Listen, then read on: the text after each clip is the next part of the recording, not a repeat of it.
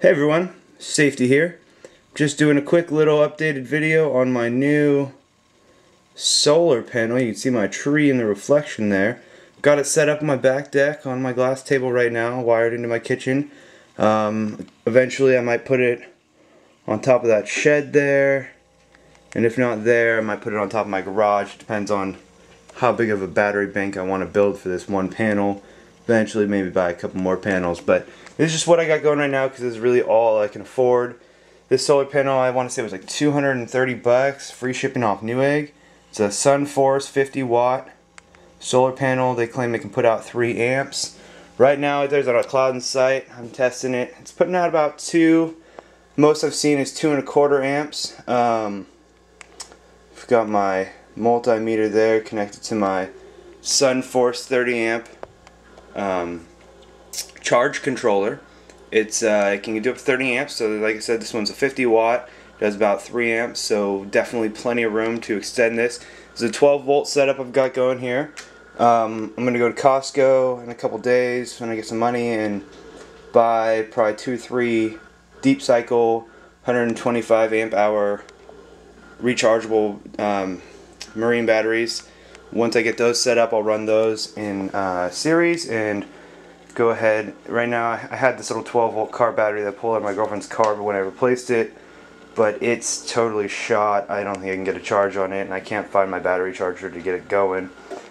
Uh, but I also picked up two of these Wagan, um, what do they call them? A dome, dome EX power um, backup.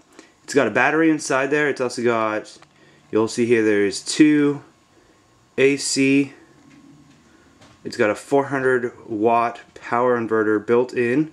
It's also got DC power running right there. It's got a DC 12 volt socket um, along with a DC voltmeter to test the battery itself. Alright, so this here is our work light switch. I'll zoom out and turn this guy around. I'll kick that on for you so you can get an idea. This is just an LED light. It's also got these jumper cables, negative on this side, positive on the opposite side.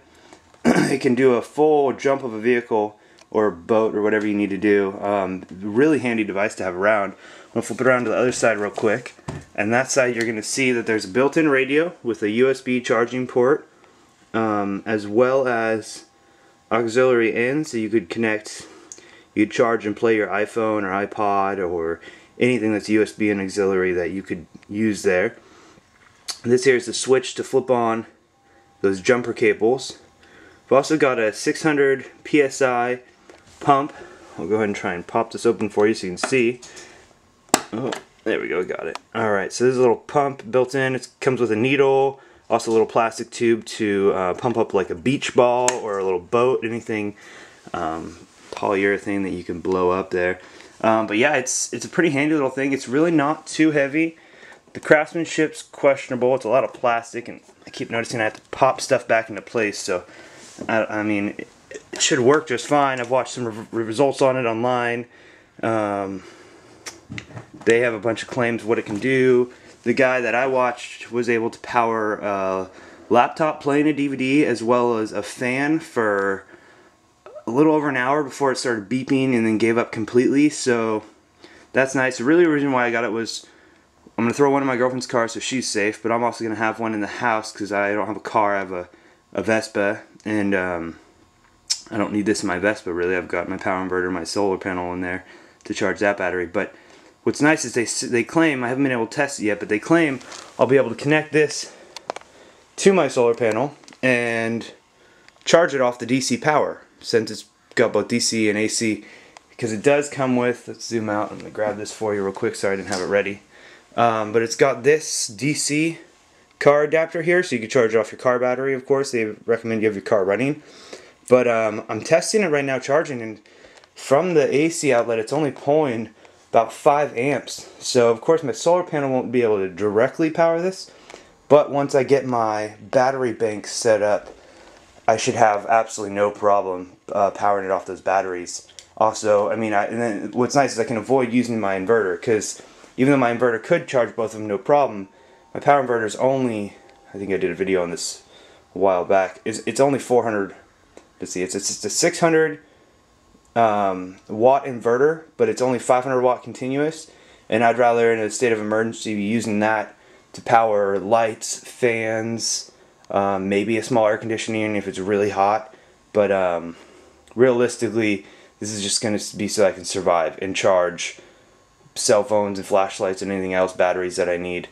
Um, but I can safely say right now, in the case of emergency, if the power went out right now in my house, I would be able to keep the lights on in in at least one room where we can have a little powwow, no candles, no unsafe fire or flame. Um, for, for an easy four or five hours to get us through the night until the daylight came. Once the daylight comes back, it's back to charging the batteries and, you know, living on. And eventually, once I get that installed on the shed or on the roof, um, it'll be permanent. I can expand it. I also really want to put a set of solar panels along this back wall, um, creating an overhang for my dog to run underneath in the wintertime and eventually creating a rainwater catchment system for this tank in this back corner here. I've cleared a tree out, got plenty of room, and it was the best part about it is it's I could fit a decent sized tank in between the roof line and this hill line, allowing for gravity fed water throughout my entire backyard. So I've got a, I've got a decent sized backyard, and with that, I would be able to um, turn my small suburban property into as self-sustaining as I can. One small step in a long process of becoming self-sustaining. I'd rather have seven acres honestly, but stay safe YouTube and wait for my next video to come out.